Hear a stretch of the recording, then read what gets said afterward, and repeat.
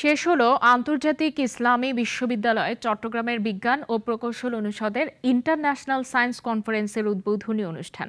দুই দিনব্যাপী এই ইন্টারন্যাশনাল কনফারেন্সের উদ্বোধনী অনুষ্ঠানে সভাপতিত্ব করেন আইআইইউসির ভারপ্রাপ্ত vice chancellor professor doctor Mohammad Ali Azadi.